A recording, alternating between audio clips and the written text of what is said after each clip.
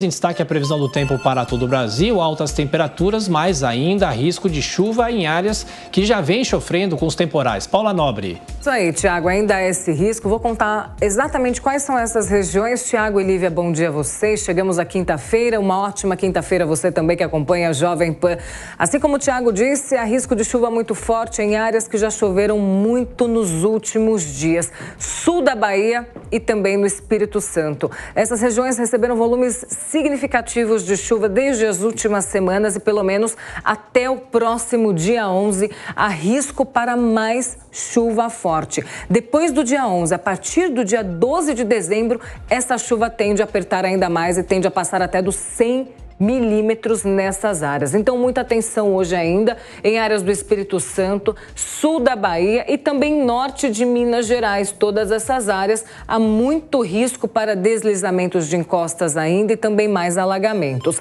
Agora, em contrapartida, uma massa de ar seco extremamente forte vai ganhando força sobre o Brasil, vai livrando essas áreas de chuva muito forte sobre o sul e também sobre o sudeste.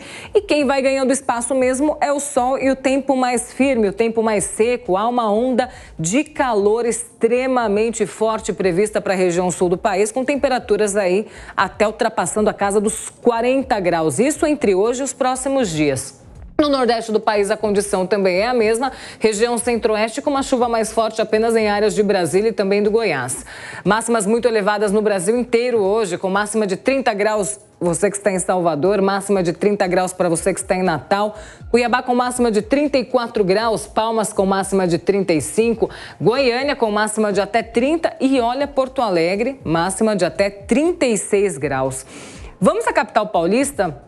Porque essa não deve ter chuva entre hoje e também nos próximos dias. A máxima de hoje chega aos 28 graus. Previsão de tempo firme.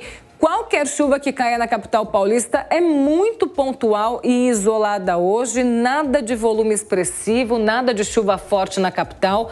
Na sexta, a mesma condição e no sábado também. E as máximas vão subindo bastante. O fim de semana tem máxima de até 32 graus na capital paulista, inclusive em áreas litorâneas, ou seja, o paulistano vai poder curtir o litoral Bem, bem legal assim esse fim de semana mesmo. Em Curitiba, a máxima chega aos 30 graus hoje, tempo firme até o sábado com máxima de 31.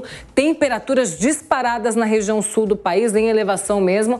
No domingo, máxima de 29 graus. E temos Brasília, Brasília com uma temperatura um pouco mais baixa, mesmo assim, sensação de tempo bastante abafado. 26 graus de máxima hoje, 25 graus de máxima amanhã, sexta-feira. A gente volta para falar como é que fica o dia amanhã, né? Dia de jogo do Brasil, né, Tiago e Lívia? É isso, amanhã, meio-dia. Daqui a pouco você volta com mais informações no Jornal da Manhã.